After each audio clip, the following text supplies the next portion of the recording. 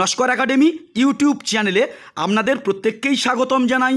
Netaji Subhash open ইউনিভার্সিটির আন্ডারে যে সকল ছাত্রছাত্রী বর্তমানে UG first year, UG second year, BDP third ইয়ারে পড়ছেন, অবশ্যই এই দু হাজার তেইশ সালে আপনারা অ্যাসাইনমেন্ট ও এক্সাম দেবেন।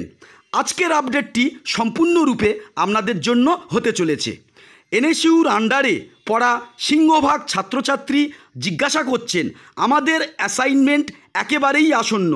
এই জায়গায় থেকে দাঁড়িয়ে অ্যাসাইনমেন্টে সর্বোচ্চ নম্বর যদি তুলে নিতে পারি, তাহলে লিখিত পরীক্ষায় সবচেয়ে কত কম নাম্বার পেলে আমাদের পাস সুনিশ্চিত করতে পারব?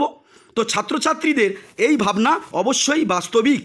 কারণ যে কোনো ছাত্র প্রথম টার্গেট করে নিজের পাশকে সুনিশ্চিত করতে, তারপর ফার্স্ট ক্লাস বা চূড়ান্ত রেজাল্টকে টার্গেট করে ছাত্রছাত্রীরা এগোয়।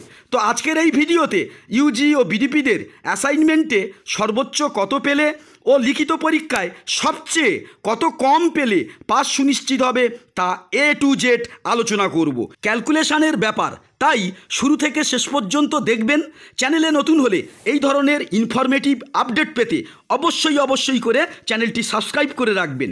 বিডিপিদের অ্যাসাইনমেন্ট হয় একশো মার্ক ও লিখিত পরীক্ষা হয় একশো মার্কের প্রতিটি পেপারে অ্যাসাইনমেন্টে বিডিপিদের ওয়েটেজ মার্ক তিরিশ, লিখিত পরীক্ষায় বিডিপিদের ওয়েটেজ মার্ক সত্তর। এবার ধরা যাক, কোনো এক বিডিপি ছাত্র একশো মার্কের অ্যাসাইনমেন্টে নব্বই পেল, এক মার্কের অ্যাসাইনমেন্টে নব্বই ডিভাইডেড বাই একশো পেল, তিরিশ মার্কের অ্যাসাইনমেন্টে নব্বই ইন্টু তিরিশ ডিভাইডেড বাই একশো। কাটাকাটি করলে দাঁড়ায় সাতাশ। অর্থাৎ কোনো একটি ছাত্র অ্যাসাইনমেন্টে একশোর মধ্যে নব্বই পেলে সে তিরিশের মধ্যে তার প্রাপ্ত নাম্বার হবে অ্যাসাইনমেন্টে সাতাশ। আবার কোনো ছাত্র একশো মার্কের অ্যাসাইনমেন্টে যদি পুরো একশো পায়, তাহলে তিরিশ মার্কের অ্যাসাইনমেন্টে পুরো তিরিশ মার্ক সুনিশ্চিত হবে। অর্থাৎ অ্যাসাইনমেন্টে তিরিশের তিরিশ এবারে ধরা যাক বিডিপির ছাত্রটি একশো মার্কের লিখিত পরীক্ষায় খুব একটা ভালো রেজাল্ট করতে পারিনি। সে একশো মার্কের লিখিত পরীক্ষায় কুড়ি পেল। তাহলে এবার ক্যালকুলেশান করে দেখা যাক। একশো মার্কের লিখিত পরীক্ষায় কুড়ি পেল। এক মার্কের লিখিত পরীক্ষায় কুড়ির একশো। সত্তর মার্কের লিখিত পরীক্ষায় কুড়ি ইন্টু সত্তর ডিভাইডেড বাই একশো। কাটাকাটি করে দাঁড়াল চোদ্দ। এবারে দেখা যাক বিডিপির ছাত্রটি অ্যাসাইনমেন্টে খুব ভালো রেজাল্ট ও লিখিত পরীক্ষায় খারাপ রেজাল্ট করে টোটাল কেমন রেজাল্ট করল।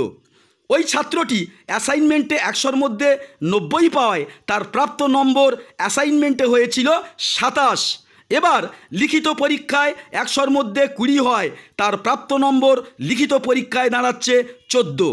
অর্থাৎ বিডিপির ওই ছাত্রটি অ্যাসাইনমেন্ট প্লাস এক্সাম মিলিয়ে পেল সাতাশ প্লাস চোদ্দ। অর্থাৎ বিডিপির ওই ছাত্রটি অ্যাসাইনমেন্ট প্লাস এক্সাম এই দুটি মিলিয়ে পেল সাতাশ প্লাস চোদ্দ ইজুকল টু একচল্লিশ। আর বিডিপিদের অ্যাসাইনমেন্ট প্লাস এক্সাম মিলিয়ে টোটাল পঁয়ত্রিশ পেলে পাস। ফলে এই রেজাল্টটি পাশের চেয়ে অনেক অনেক গুণ ভালো হয়েছে। ফলেই বুঝতেই পাচ্ছেন, প্রস্তুতির অভাবে লিখিত পরীক্ষা ভালো হবে না। যদি বলে আপনার মনে হয়, তাহলে পাশ করতে হলে অ্যাসাইনমেন্টে পুরো নম্বরটাই আপনাদেরকে তুলে নিতে হবে। আপনি যদি ইউজি ও বিডিপি ইতিহাস নিয়ে পড়েন। অ্যাসাইনমেন্টে পুরো নম্বর তুলতে এবং লিখিত পরীক্ষায় চূড়ান্ত রেজাল্ট করতে আমাদের গাইড নিতে পারেন। অ্যাসাইনমেন্টে বইয়ের দাগ নম্বর সহ উত্তর দিই যাতে সচেতন ছাত্র উত্তরের সত্যতা যাচাই করে নিতে পারে। এবারে আসি UG first year, UG second year ছাত্রছাত্রীদের প্রসঙ্গে। UG first year, UG second ইয়ারের ছাত্রছাত্রীরা অ্যাসাইনমেন্ট ও এক্সামে কত পেলে পাস সুনিশ্চিত হবে? ইউজিদের অ্যাসাইনমেন্ট ও এক্সাম মিলিয়ে সত্তর মার্কের পরীক্ষা, আর এই সত্তর মার্কের মধ্যে পঞ্চাশ হলো লিখিত পরীক্ষা, আর অ্যাসাইনমেন্ট হলো কুড়ি মার্ক। কোনো ইউজি ছাত্র অ্যাসাইনমেন্টে যদি পুরো কুড়ি মার্কের মধ্যে কুড়ি তুলে নিতে পারে, তাহলে লিখিত পরীক্ষায় মাত্র এক পেলে চলবে। কারণ ইউজিদের অ্যাসাইনমেন্ট ও এক্সাম মিলিয়ে টোটাল একুশ পেলে পাস। ফলে ইউজি ছাত্রছাত্রীরা যদি নিজেদের পাসকে সুনিশ্চিত করতে চান এবং ভালো রেজাল্ট করতে চান, তাহলে অ্যাসাইনমেন্টকে হেলায় অবজ্ঞা করবেন না। তো ইউজিদের যে এই যে পাশের ক্যালকুলেশান, এটা গত বছর পর্যন্ত কিন্তু এক ছিল। এবছর ইউজিদের অ্যাসাইনমেন্ট ও এক্সামের যে ওয়েটেজ মার্ক বা কীভাবে পাস সুনিশ্চিত করতে হবে, এই সংক্রান্ত কিন্তু আপডেট আসেনি। ফলে আমরা পূর্বের যে স্ট্যাটিস্টিক্স, সেটা অনুসারে কিন্তু এই ক্যালকুলেশানটা দিয়েছি। তো আজকের আপডেট এই পর্যন্তই। নমস্কার।